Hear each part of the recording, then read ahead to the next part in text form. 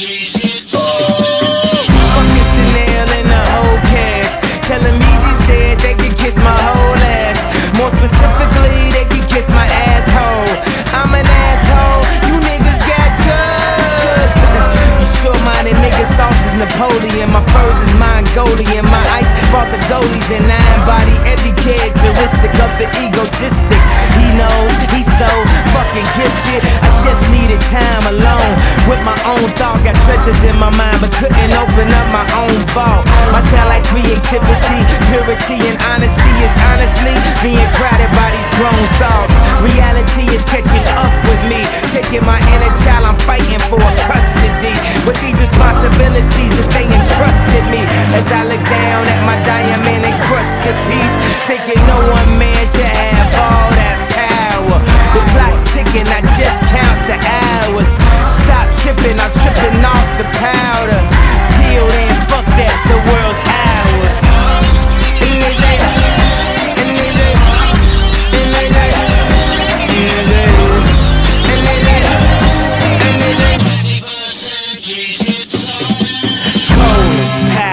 Austin, Powers, lost in translation with a whole fucking nation. They say I was the Obama nation of Obama's nation. Well, that's a pretty bad way